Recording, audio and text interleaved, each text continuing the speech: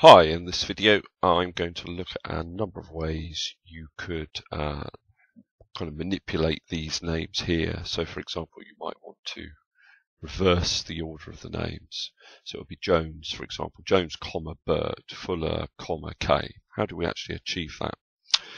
Well I'm in Excel 2013 so there is actually a really easy way of doing this and it's something called flash fill. If you don't have flash fill then don't worry too much because I'll show you another way of doing it later on. So what I would do is I'd say, right, I'd actually type in the pattern that I want to replicate um, down the rest of the column. Just put a space there. Press return. And then what I do is I just select those cells. So the cell that I've typed in the pattern, the cells I want to copy it to. And then if I go to data, I've got flash fill. You can see that it does it straight away. Just repeats the pattern down the page, down the uh, column. Now that's great if you have um, Excel 2013, maybe you don't, so let's look at some other ways of achieving this. Now another way of doing it would be to delimit the text and then concatenate the names but in the reverse order. So I'll just show you how to do that. So let's try and delimit it. So what I'll do is I select that those names there I go to data, text to columns.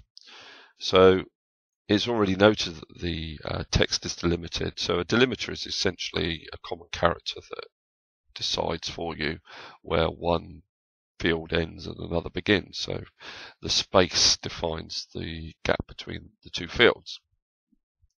So yeah, I want uh, my text is delimited. I click on next. My text, my delimiter is a space. So I just click on space there. Click on finish. It separates out uh, first name from last name. What I could then do is concatenate or join the text together, but in the opposite direction, opposite way round. So I could say uh, it's B2, and then ampersand. Ampersand joins um, two pieces of information, two text strings or whatever together, but I want um, between the last name and the first name, I want a comma and a space.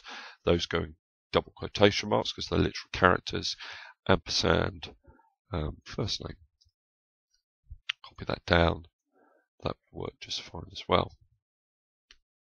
But I have ended up with three columns, so I can always get rid of those, but there may be a neater way of doing this. Let's look at that. I'm just going to use some text functions to uh, look at the other option uh, that you've got. Now, essentially to use the text function, I'm going to use mid, left, len, and search for text functions to achieve this. And I'll start off with search because basically the text functions will need to know where the space is within our text string. So uh, search will do that for us. The search functions, find, basically you've got to specify first of all what text you want to find. So in our instance it's a space, so it's got to go in double quotation marks, comma, within what text? Well this text. You've also got this optional third argument start number, so that's the position at which you want to start search.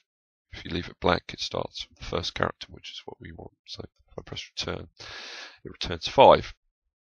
So that tells us that the um, fifth character within the first name is where the space, if I copy that down, you'll see it's found the position of the space in each of those names. Now I actually am going to need that for uh, a larger formula that I'm going to be creating, so I'm just going to cut that out. So, um, now going to use the mid function because what I want to do is to be able to extract a certain number of characters midway through this text string. So the mid function is what you use to achieve that. So mid, now you can see that mid has three arguments, text, which is this, the text that you're extracting the characters from. Then it requires a start number. Now, the start number is the character after the space. So I can use my search function, if I paste in my search function, to determine where the space is. And then if I add 1, that is where the surname actually starts. So um, type in a comma, Um, and then it's going to ask for the number of characters. So the number of characters I want to return from that start position. Now, I could in fact just put in a big number, 50, press return, and you'll see that it does actually work. Okay, there are no spaces after that character or anything like that. That works fine. Uh, there is another way, I might as well show you this. Um, it's called uh, len. It's another text function. And what that does is it returns the number of characters in a text string.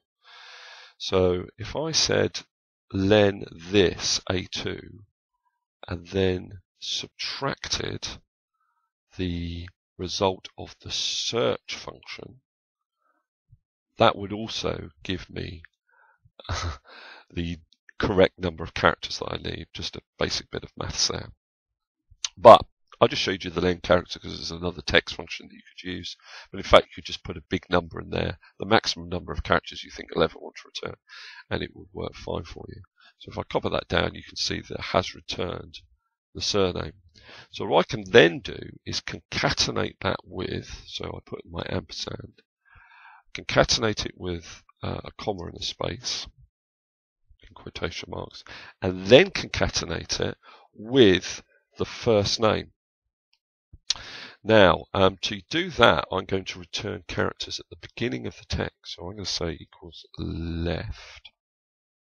Okay, and the left function has two arguments.